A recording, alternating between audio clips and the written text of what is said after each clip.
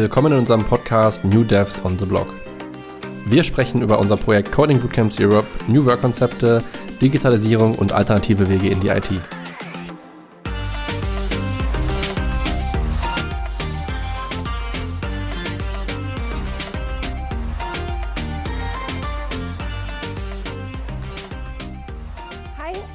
Herzlich willkommen zum New Devs on the Block Podcast. Mein heutiger Gast ist Julia. Julia kommt aus Hamburg und Julia hat einen mega spannenden Lebenslauf. Ähm, sie hat ihren Bachelor in Medieninformation gemacht und hat sich dann nach dem Bachelor nicht für einen Masterstudiengang, sondern für eine Ausbildung in einem Coding Bootcamp bei Neue Fische entschieden. Heute arbeitet sie als Frontend-Entwicklerin und ist Mitgründerin des Social Developers Club. Aber bevor ich jetzt alles verrate, liebe Julia, stell dich doch einfach mal selber vor. Danke, liebe Mareike. Äh, ja, du hast das schon ganz gut zusammengefasst. Ich bin Julia Heidinger. Ich bin geboren und aufgewachsen in schön Hamburg. Äh, genau, ich habe ähm, eigentlich Medien und Informationen studiert, damit ich irgendwann Journalistin werden kann. Und ähm, das war eigentlich schon seit immer so mein Kindheitstraum, durch die Welt zu reisen, Reportagen zu schreiben. Genau. Dann musste ich allerdings in diesem Studium mal eine Webseite bauen, weil das irgendwie dazugehörte, weil wir so einen Blog, Blog aufgesetzt haben für das Thalia Theater. Und äh, das hat mir so viel Spaß gemacht, dass ich das dann irgendwie weiter am Wochenende gemacht habe und dann auch noch in der Woche drauf. Dann äh, sind ziemlich viele meiner Freunde und auch aus dem Studium Leute selbstständig geworden, äh, auch Teile meiner Familie arbeiten auch selbstständig. Mhm. Die brauchen dann auch irgendwie alle Webseiten. Ich, ja, mache ich euch. Äh, genau, und da habe ich dann so richtig entdeckt, okay, vielleicht macht mir das noch mehr Spaß, als Reportagen zu schreiben. Ähm, zumal ich dann irgendwann mitbekommen habe, dass ich dafür auch Geld bekommen kann. Und äh, habe dann irgendwann auch angefangen, als Werkstudentin ähm, im Frontend zu arbeiten bei About You damals. Da war es noch ein kleines Startup. Ähm, genau, dementsprechend ging es auch hektisch hin und her. Da wurde ich komplett ins kalte Wasser geschmissen und habe mir halt alles an ähm, ja, HTML äh, und CSS vor allem beigebracht, immer mhm. mal wieder ein bisschen JavaScript und dachte so, ja, okay, eigentlich ist das das, worauf ich gerade richtig Bock habe ähm, und habe dann äh, nach meinem Bachelor, also den habe ich noch zu Ende gemacht und habe dann überlegt, ob ich nicht ähm, ja, Informatik studieren sollte, weil irgendwie macht mir das ja schon Spaß, aber ich kenne irgendwie gar nicht die Basics und alles.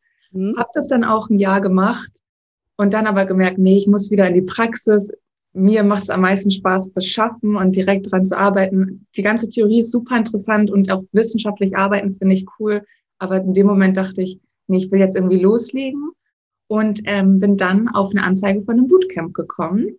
Also da war das das neue Fische Bootcamp. Das war, glaube ich, das erste in Hamburg. Mhm. Und da dachte ich, ah, cool, da muss ich ja nicht mal irgendwo hinreisen. Also ich reise auch gerne, klar, aber ähm, das war dann sehr, also dass ich in meiner Wohnung bleiben konnte und alles war super und habe mich dann einfach mal beworben. Das hat geklappt und ja, vier Monate später habe ich als äh, Webentwickler, also als Frontend-Entwicklerin angefangen. Ging dann doch schneller als erwartet, aber jetzt bin ich sehr glücklich mit der Entscheidung und ähm, hätte es, würde es immer wieder genauso machen. Spannend.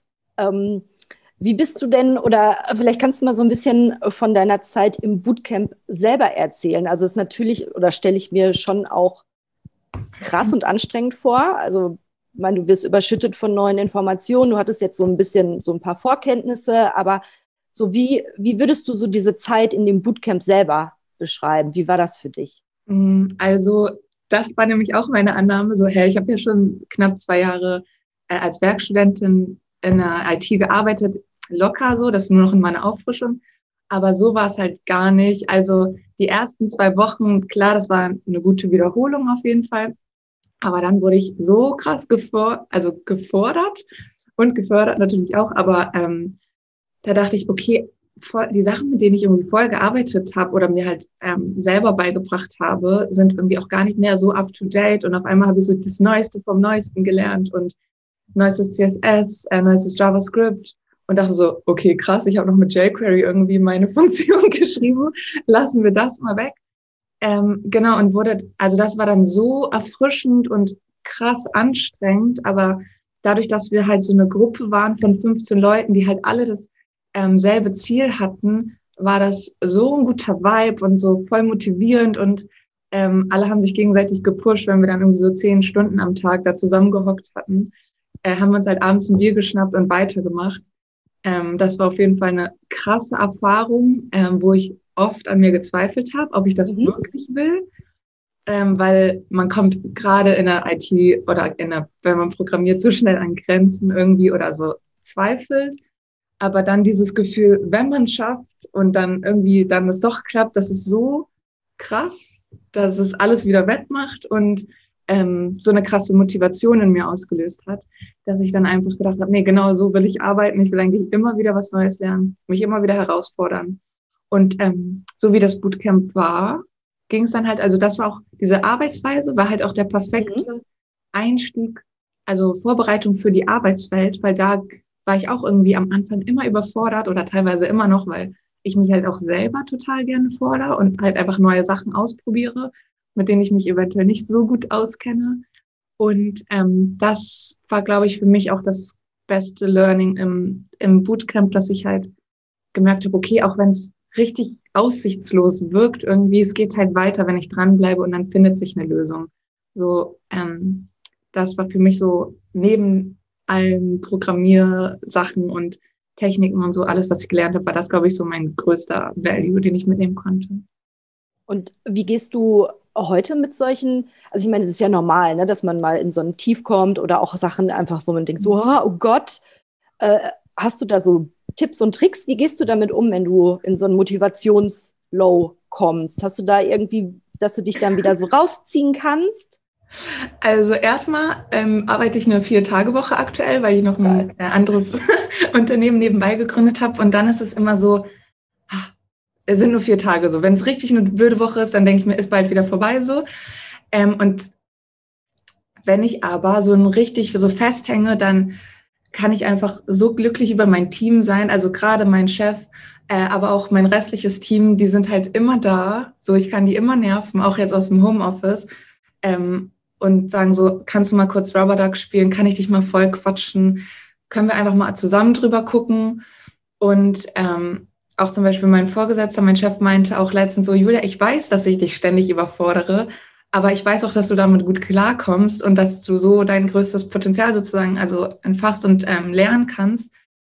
Und ähm, ich bin halt da, wenn du Hilfe brauchst. Und das ist so eine gute ähm, ja, Arbeitsumgebung, dass man weiß, okay, ähm, ich kann mich fordern, ich kann ähm, irgendwie das Gefühl haben, dass ich festhänge und irgendwie mich da nicht mehr rausmotivieren kann, aber ich weiß auch, dass ich Leute habe, ähm, auf die ich zählen kann. So, deswegen bin ich auch sehr froh, dass ich nicht direkt ähm, selbstständig weitergearbeitet habe, sondern mhm. mich doch dafür entschieden habe, in ein Team zu gehen nach dem Bootcamp, weil ich da noch mal so ein bisschen so ein Backup habe, so ein bisschen Power und Leute, die halt für einen da sind.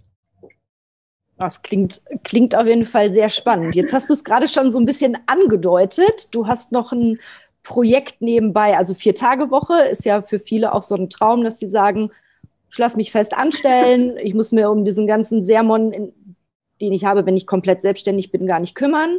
Ich habe das Team, ich habe den Support.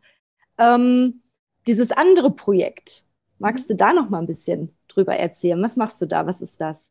Ja, das andere Projekt, also erstmal, ich wusste, dass ich eine Vier-Tage-Woche arbeiten wollte, einfach so, weil durch das Entwicklergehalt ähm, habe ich sozusagen relativ, ähm, ja, bin höher eingestiegen, als dass man wahrscheinlich in den meisten Berufen äh, tut mit einem Bachelorabschluss und deswegen konnte ich es mir leisten, sozusagen 80 Prozent mhm. meines Gehalts nur zu nehmen äh, und mir dadurch sozusagen die Freiheit ermögliche, einfach noch weiter mich ähm, in andere Bereiche zu entwickeln, äh, ohne natürlich auf die Programmierung und meine Arbeit als Entwicklerin verzichten zu müssen. Mhm. Allerdings lag mir die ganze Zeit noch ein anderes Thema sehr am Herzen und da bin ich sehr froh, dass äh, ich da die Sabrina gefunden habe, ähm, der ihr das, der das genauso am Herzen lag und wir dann zusammen den Social Developers Club gegründet haben.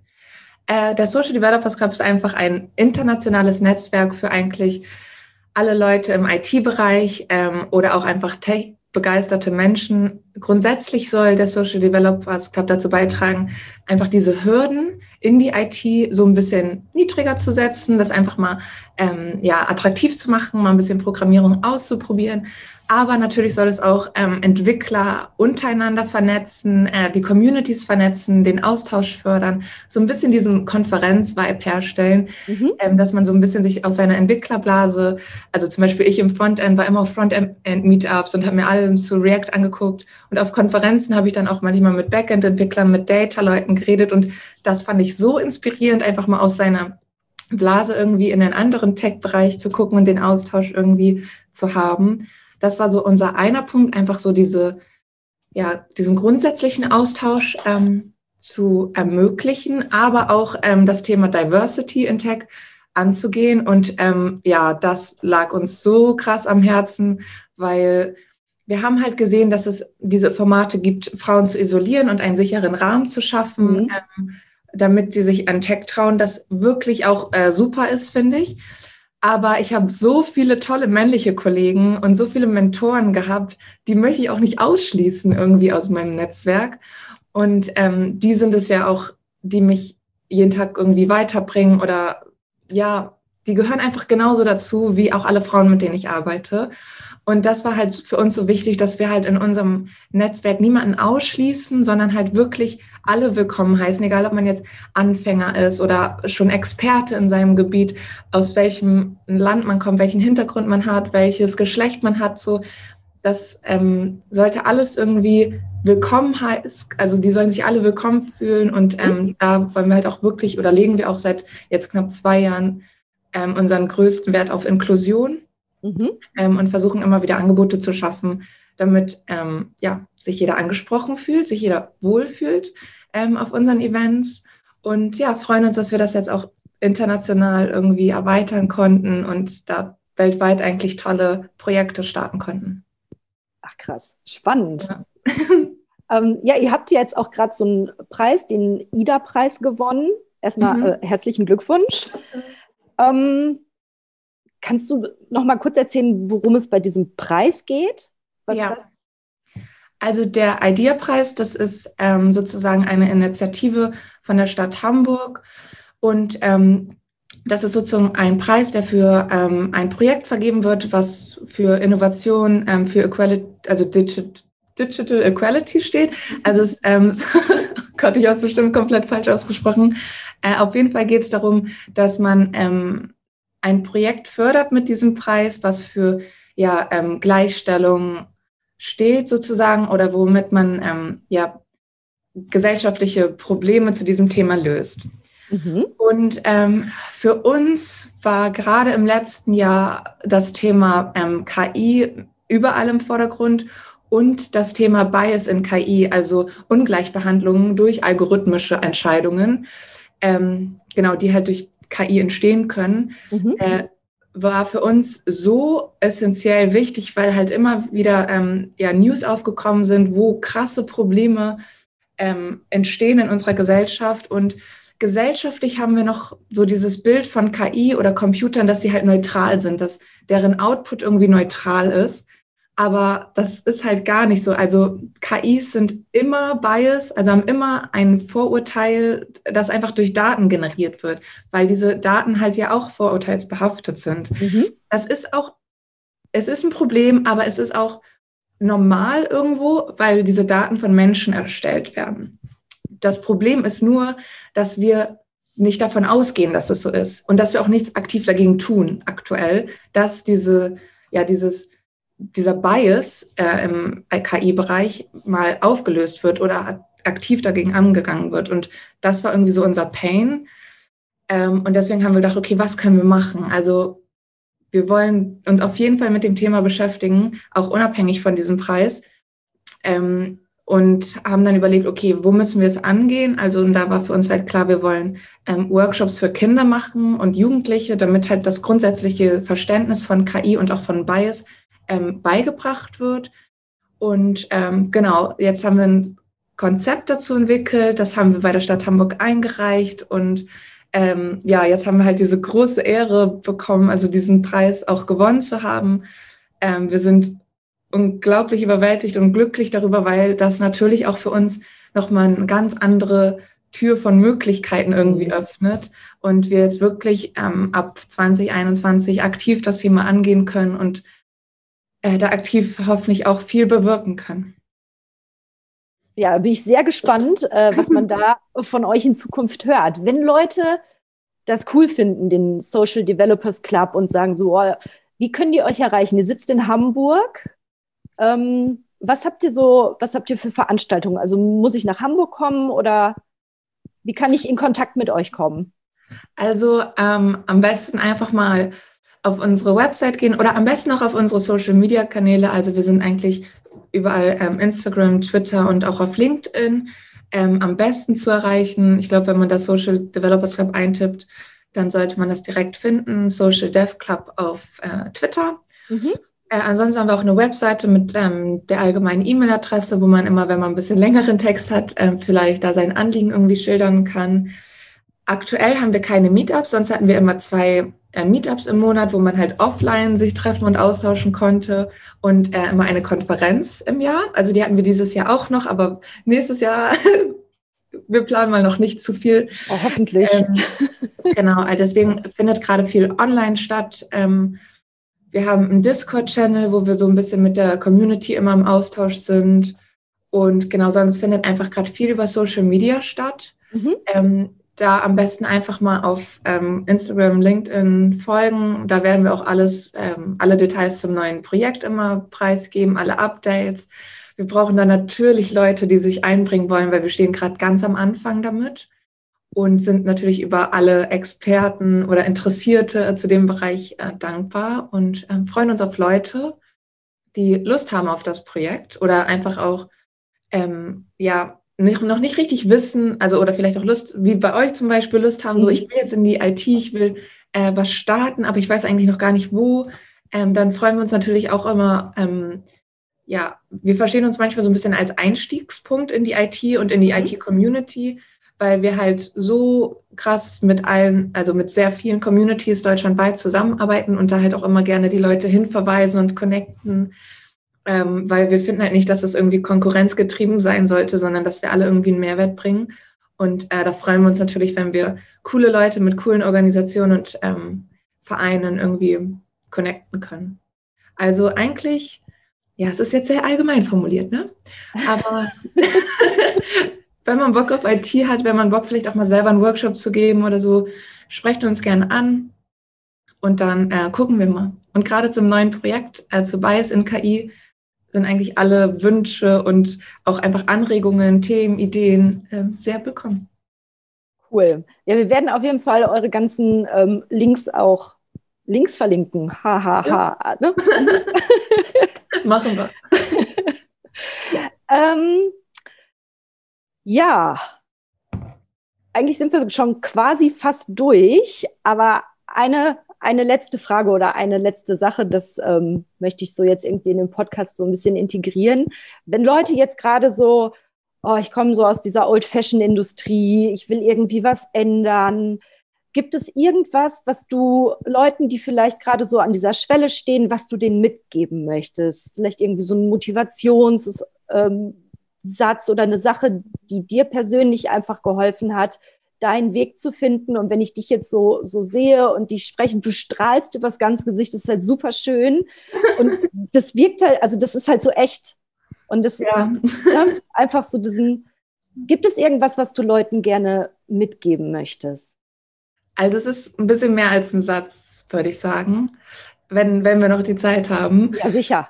Also mir hat es so krass geholfen, dass als ich ganz, ganz am Anfang war mit Programmieren und irgendwie meine ersten Webseiten gemacht habe, aber trotzdem schon voll stolz drauf war, ähm, habe ich das immer auf Social Media gepostet. Also ich habe irgendwie wann angefangen auf Instagram ähm, so mal meine Sachen zu zeigen, meinen Code zu zeigen und ähm, das war so krass, weil mir war das vorher nicht bewusst, aber es ist so eine krasse positive Community dahinter, die mich so bestärkt hat und ähm, wo ich dann auch mich mit anderen austauschen konnte, die auch am Anfang standen oder welche, die schon weiter waren als ich, wo ich dann einfach so ähm, gemerkt habe, okay, das ist gar nicht so beängstigend und das sind gar nicht alles Leute, die irgendwie wie in diesen Hackerfilmen im Keller sitzen und sich abschotten und gemein sind. So, das sind ganz normale Menschen, die Bock haben, irgendwie coole Sachen zu bauen, genau wie ich.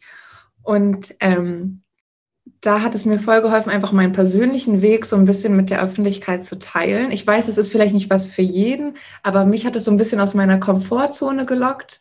Und ähm, jetzt rückblickend ist es voll auch schön, so diese Dokumentation zu haben, so wie mhm. der Weg war.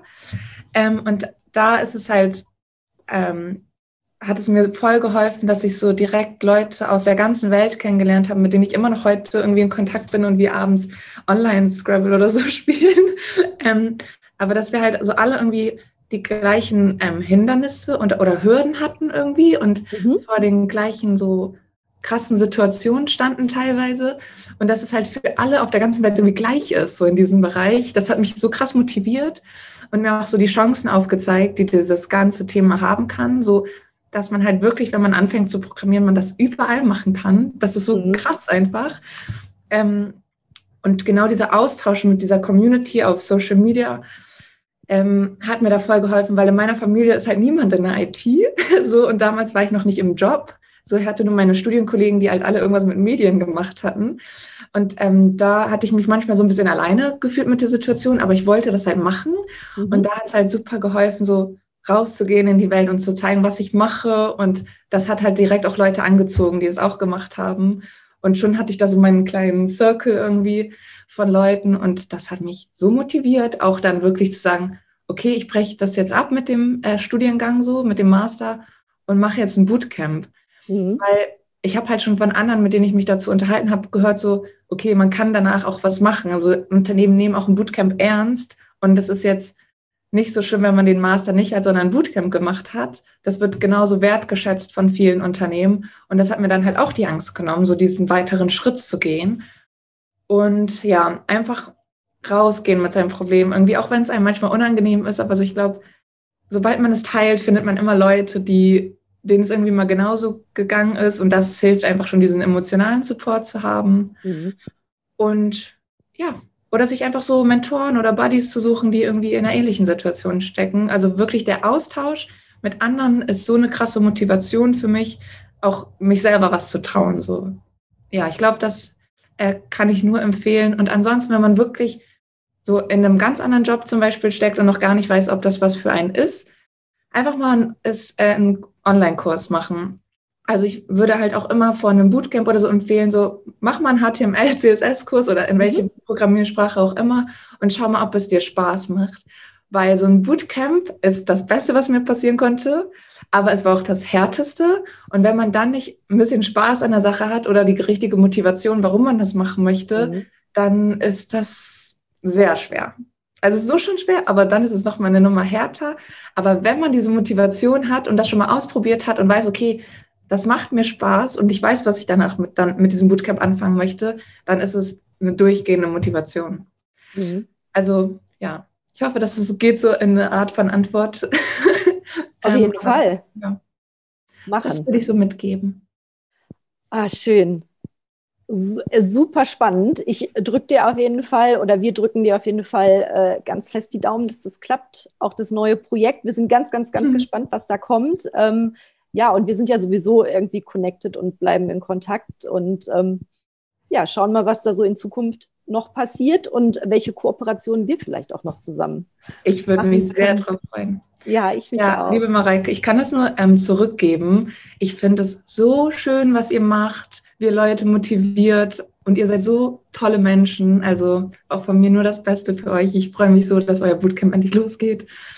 Und Dankeschön. Ja, wir bleiben auf jeden Fall in Kontakt.